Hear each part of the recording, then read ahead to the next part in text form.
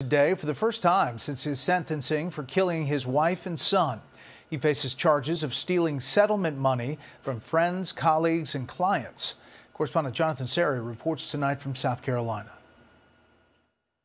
Wearing an orange prison uniform and shackled at the waist, convicted murderer Alex Murdaugh was back in a South Carolina courtroom.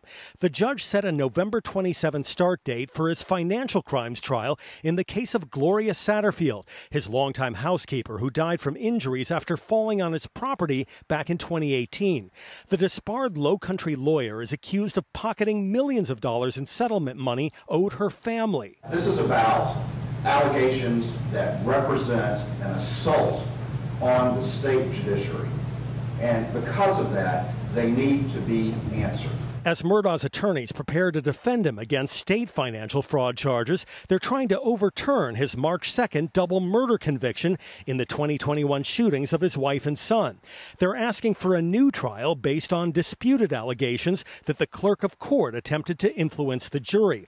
But the defense team confirmed Murdaugh plans to change his plea in a federal financial crimes case when he appears before a U.S. district judge next Thursday.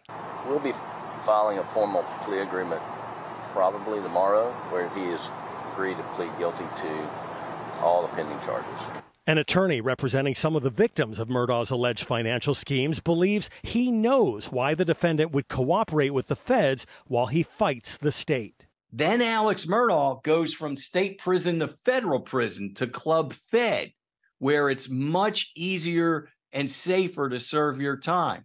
Eric Bland says he has no doubt Murdaugh will spend the rest of his life behind bars. The question is whether he serves time for murder, financial crimes, or both. Brett? Jonathan Serrie in South Carolina. Jonathan, thank you.